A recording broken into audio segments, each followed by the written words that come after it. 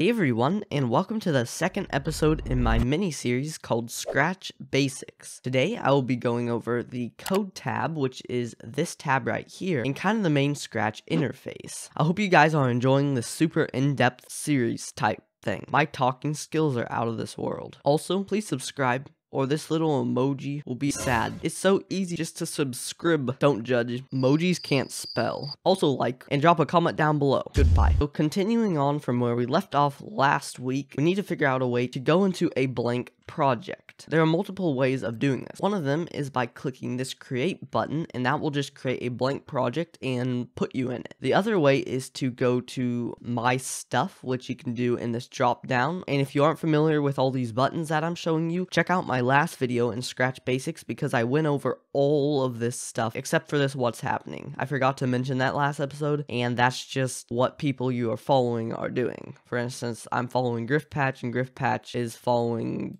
this thing. Like I was saying, go to my stuff and now click new project. But I already have a project called Scratch Basics. It's at the very top. but if I click on the thumbnail of it, it's going to bring me to this page. But if I click see inside, it'll take me to the editor. So now that you know how to create a project, let's go over the interface. Now, upon entering, it may seem a little overwhelming because there's a lot of cool things to do. Let's start at the top with the ribbon bar. This whole blue bar is the ribbon bar. Very top left is the Scratch logo. It just takes you to the main page, just like I showed last episode. Next, we have this world thing. It allows you to change the language of the editor. Next we have file. New allows you to create a brand new project. If I click on it, boom, it just brings me into an untitled project. The next button is save now, which saves your project. Quick tip, you can also do control S for saving it. As you can see, I'm just clicking it right now. Next we have save as copy. Now this is super cool because say you have a bunch of code in here and you're wanting to make a huge change, but you're scared it's gonna break it. Well, all you need to do is click save as copy and now you can see that it says Scratch Basics copy and all the code and everything is the same but if I go out there's two projects now the Scratch Basics copy and Scratch Basic. The very next button is load from your computer which I'll go over in a sec actually. You need to first learn these save to your computer. So if I click save to my computer right there it just downloads Scratch Basics which is the name .sb3. Now an SB3 is Scratch's file extension so if you see an SB3 file you know that it is a Scratch project. So if I go to the downloads folder, you can see that I have this Scratch basics file right here and it's an SB3. Now if I go ahead and make a new project, I can click file and then load. It will open up a file explorer. So I'll go to my downloads, click on my Scratch basics and click open. Now it'll say, are you sure you want to replace all the contents of the current project with that file? If you click OK, there you go. Look at that. It has Scratch basics, the name there, and that's actually the only thing that's different, but it loaded up our project. The other reason this is useful is if you're using Scratch Desktop, you have to use it this way because you can't just do Control S. You have to actually save it as a file to your computer. But I am on the website version right now, so I can just click save and it saves it to their cloud. The next button is called tutorials. So if I click on that, here are bunch of tutorials that are useful when you're very first starting out. So here are all the tabs up here. You can filter it out. It is super useful for when you're first starting out. So if I go ahead and click add a sprite, you can see that there's pop-up comes up and it walks me through the steps of adding a sprite. So that is super cool. Next we have the title, which is the name of the project. You can change this here. Next is a dangerous button called the share button. The reason it's dangerous is once you click this, it is shared to the world. So just be careful when you're up here to not accidentally click this. Next we have see project page which brings you to this page that I showed in the last episode where you can also change the title, the instructions, and the credits. So this is what it would look like for other people. Now we have this button that's a shortcut to the my stuff page and then your icon which is the same as on the home screen. You can go to my profile, my stuff, account settings, and then sign out at the bottom. Okay, so now that we have the top ribbon bar done, let's go ahead and move down a bit. Next, we have all these tabs here. There are three tabs, code, costumes, and sounds, but in this episode, I'm just going to be covering the code tab. Right here is the block palette. So these are all of the blocks in Scratch, and you can just scroll up and down with your mouse wheel. And a tip here is, say I'm at motion, instead of having to scroll all the way down to variables, all I have to do is click on the tab over here. So if I click on motion,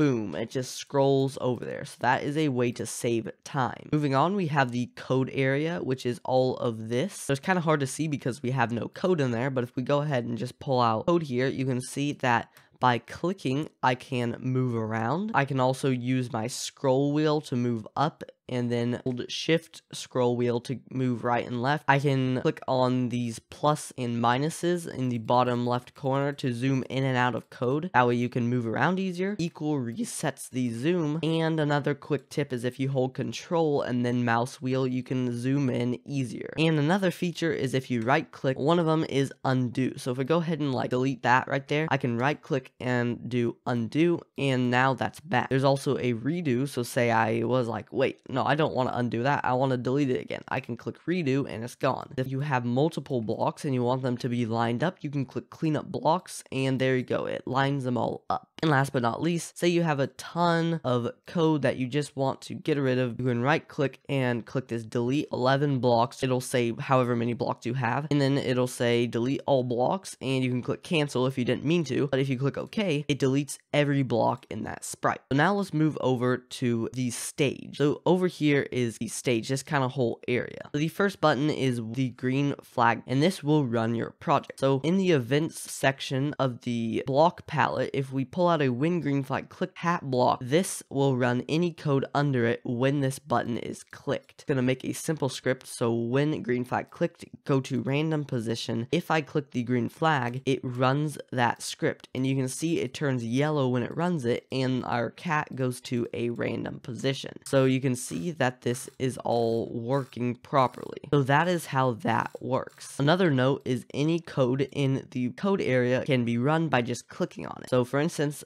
if I want to make this cat go to X50Y0, I can click on that to make it go there. Now, this is an editor exclusive though, because if you go to the actual project page where people will be playing it, there's no button there. So you'll want to make it work with when green flag clicked. The stop button stops all forever loops and repeat and tells and all of that stuff. So it'll just stop every running script. So say we have when green flag clicked forever, change my variable by one. So what this is doing is it's saying when I click this flag and start the project forever, change this variable by one. So we go ahead and start this project. There you go. It goes really quick here. And if we click stop, it immediately stops that forever loop. And if we go again, you can see that it's yellow because it's running forever and then we stop it. Moving to the right, we have this button which makes the stage into a baby stage or a big stage. This button full screens it. I do this a lot in my videos so that way you can get a close-up view of your games. And then this is your actual viewing area that where you can see your game. So this is the same thing right here as this. It's just in a different spot. Next, we have the sprite pane. So I'm just going to add a new sprites and you can see that when I click on them, the values change. This is the information about that sprite. So if I go ahead and click on it, the first thing you'll notice is that it makes a highlight where it is on screen. So that's handy to find your sprite. So the first one is a name and it will update down here. So this is a quick way to see what it is named. Then we have the X position of it. Now we have the show. You can go ahead and just show and hide that, which is the same functionality as these show and hide blocks. Next we have size. 100 is default, but say I want it to be 250. Okay, now we have a ginormous cat. Then last but not least, we have direction. At the very top is our direction, so 90 is to the right, 0 is pointing up, negative 90 is to the left, and 180 is down. And then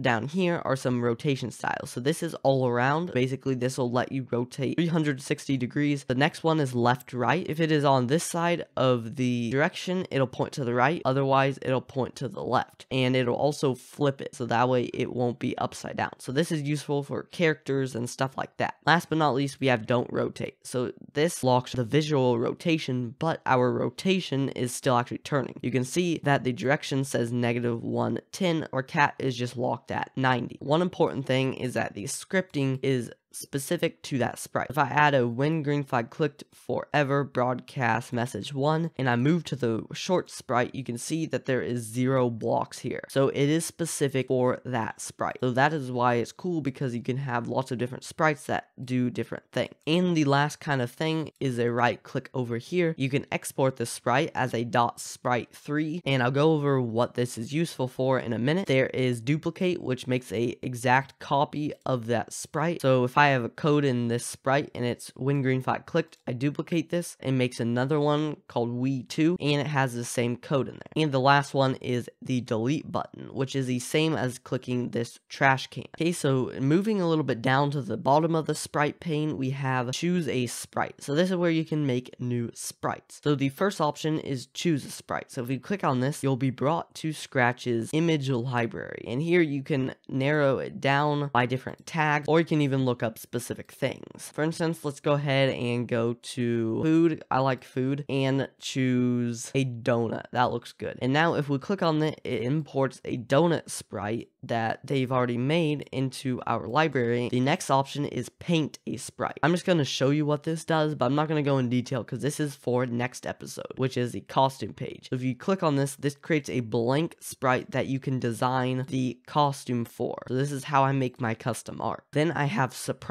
which basically imports a random sprite from that sprite library I showed you. So if I click on that a few times, you can see I got a shark, a hatchling, and a guitar, electric, and a fishbowl. And last but not least, you have upload a sprite. So here's where the dot sprite 3 comes in handy. So right here is that sprite and I click open and it imports that sprite with all of the costumes, sounds, and code, but I didn't actually put any code in there. You can also upload PNG images. Click open. There you go. Now I have a PNG image in my Scratch project. Look at that. Here are all of the types you can upload. You can upload JPEGs. You can even upload SVGs and GIFs. So if you want an animated sprite. And the last tab is the stage tab. So this is a fixed sprite that you cannot delete or you cannot move around. You can see that the motion section in the blocks is gone. But this is like the very background of your project. So you can put coding in here and it's specific to the background. I don't really use this too often because you can't layer it. As you can see here, there's no like go to front or anything like that. And then this button is the same exact thing as a sprite, but it's for the backdrop. So choose a backdrop is their library of backdrop. And then the next one is paint. So that's how you can make a custom one. And there's a surprise that imports a surprise background and then upload, which allows you to upload your own images. So moving to the very bottom of the screen, we have backpack. So this is where you can store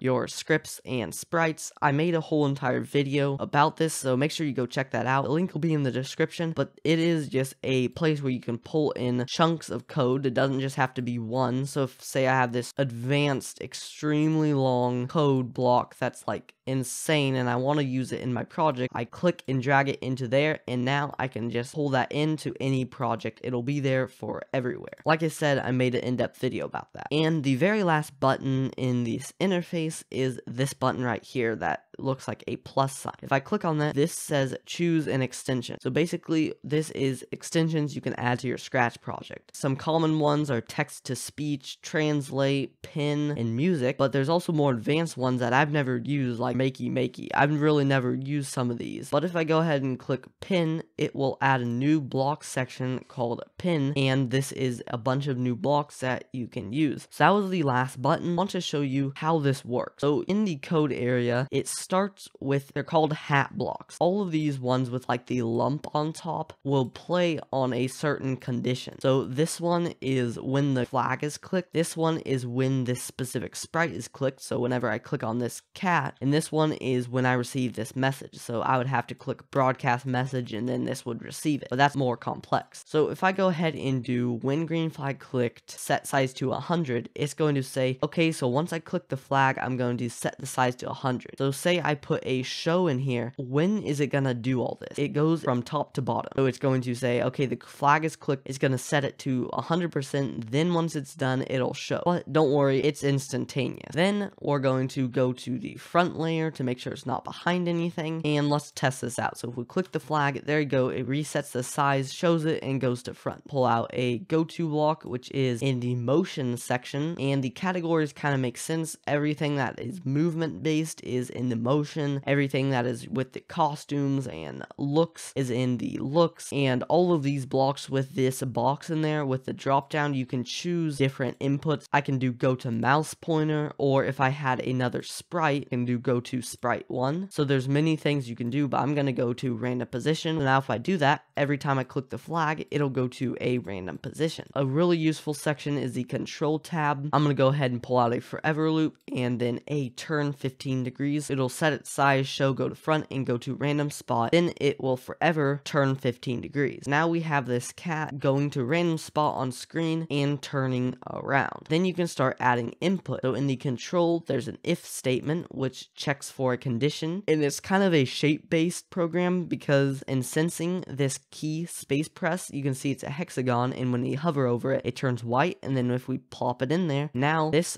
right here is checking if the space is pressed. So if we go ahead and put that in there and now we do move 10 steps, every time we press space, it'll move 10 steps in whatever direction it is. So it's kind of crazy, but another note is if you click on most blocks, it will give you an output. This is a key space press. Right now it's false. If I press space, you can see if I click it, it sets it to true. I want to thank you all so much for watching. If you did enjoy this episode, make sure to drop a like and subscribe. But anyway, this has been Owen, and I am out. Thank you.